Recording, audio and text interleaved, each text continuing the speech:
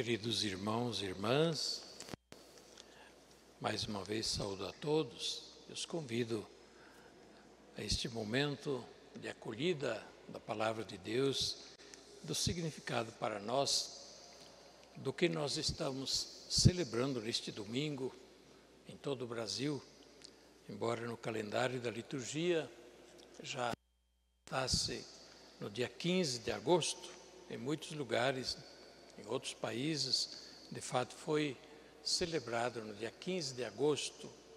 Nós no, no Brasil celebramos hoje porque era importante solenizar, é importante que a comunidade cristã pudesse ter a possibilidade de participar deste momento celebrativo para louvar, agradecer a Deus eh, por aquilo que Deus realizou e Maria, mãe de Jesus, mãe do Filho de Deus, elevada ao céu em corpo e alma.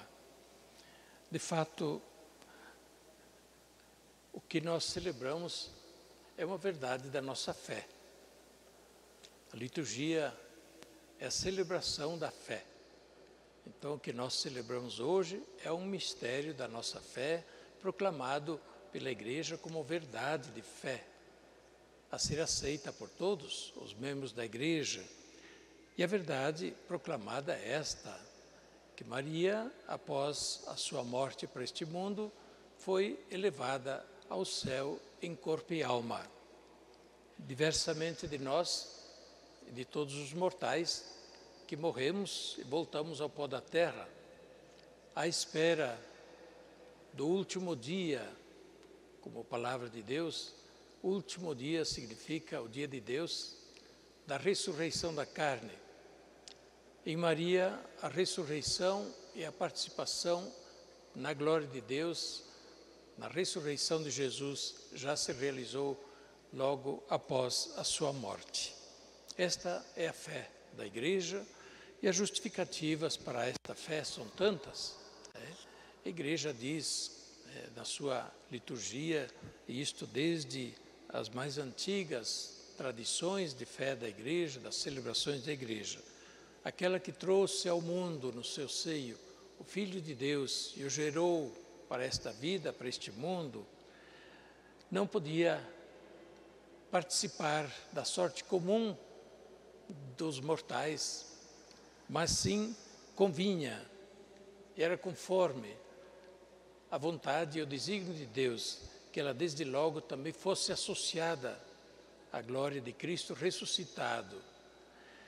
Ela que viveu inteiramente para Deus, inteiramente sintonizada com Deus, ela que deu a, ao Filho de Deus a sua condição humana, a sua natureza humana, foi associada imediatamente após a sua morte para a glória de Deus.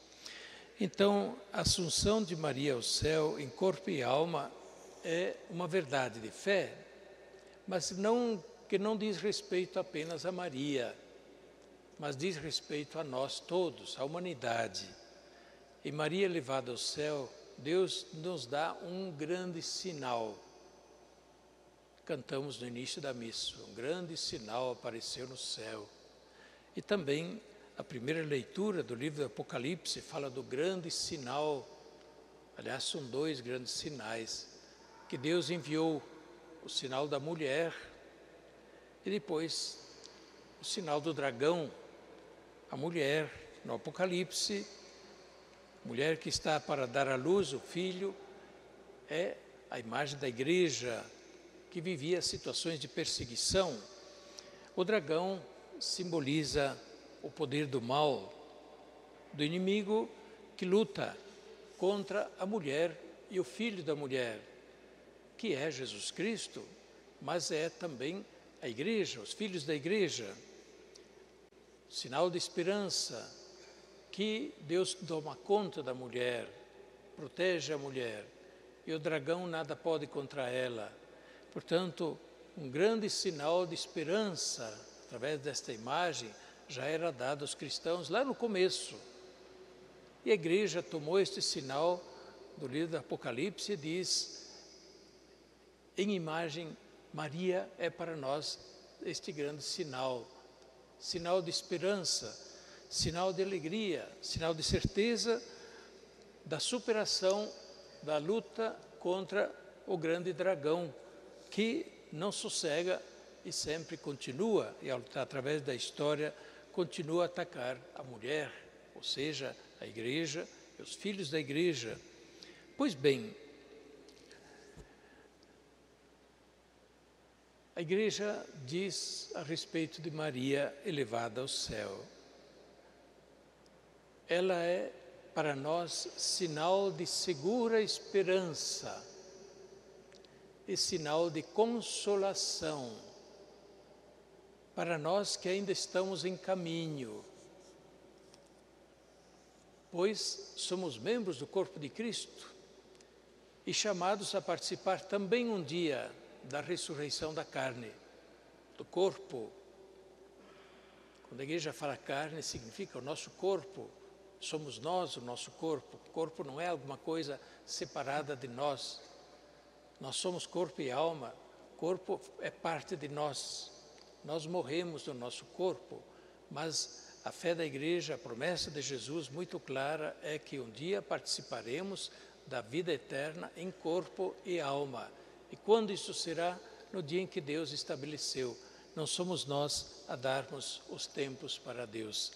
Pois bem, sinal de segura esperança, porque o que Deus realizou nela realizará para nós todos, se como ela formos fiéis a Deus e não nos separarmos de Deus. Sinal de consolo, sim, porque a vida é luta e tantas vezes luta dura para nos mantermos fiéis a Deus e para não sermos desviados do caminho. Para perseverarmos, sim, precisamos lutar também nós contra o dragão, que se mostra de tantas formas em nossa vida, também nos tempos atuais. Sinal de consolo para os que cansam, para os que sofrem, para os que lutam, na certeza de que sim, a vitória é certa se ficarmos do lado de Deus, como Maria ficou. Por isso, em Maria elevado ao céu, nós podemos entender o sonho de Deus para a humanidade. Para que Deus criou o homem e a mulher, a humanidade. Para um momento de alegria, de lucidez, depois acaba tudo. Seria uma grande frustração. Deus não faz isto conosco. Deus colocou em nosso coração um desejo de vida, de felicidade, de realização plena da nossa existência. Temos a certeza de que Deus não quer frustrar este nosso desejo. Mas o que realizou em Maria, quer realizar em nós também.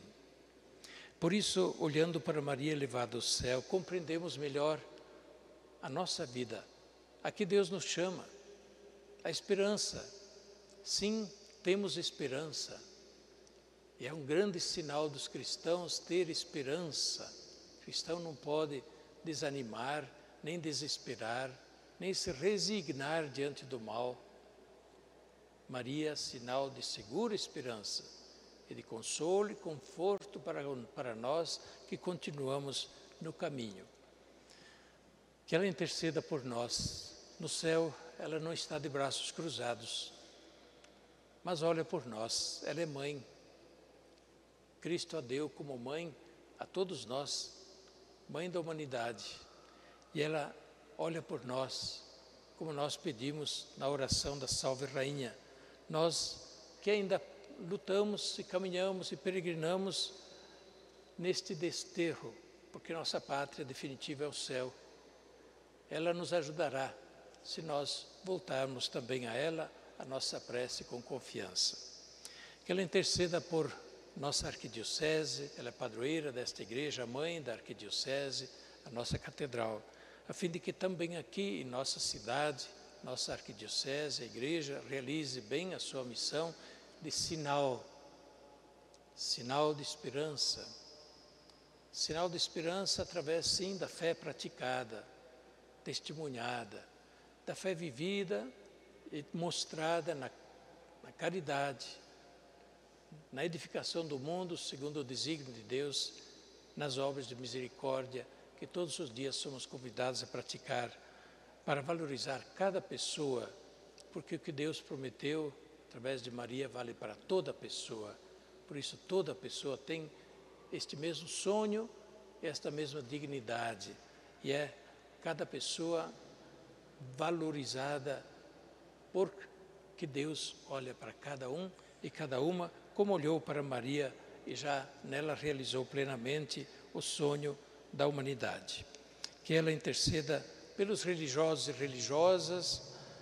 Nós hoje, no mês das vocações, neste domingo, rezamos de modo todo especial pela vida consagrada religiosa, que tem a vocação, o chamado também de ser um sinal na igreja e no mundo, através do modo de viver, da sua consagração a Deus, grande sinal também deste sonho de Deus que não se reduz a realizações deste mundo, mas tem um olhar já desde agora voltado para as realidades celestes, como nós pedimos no início desta missa. Que Deus nos abençoe e abençoe a todos. Amém. Este programa teve o apoio dos nossos benfeitores. Seja você também um benfeitor e evangelize conosco. Ligue agora 0 operadora 11 42 00 80 80.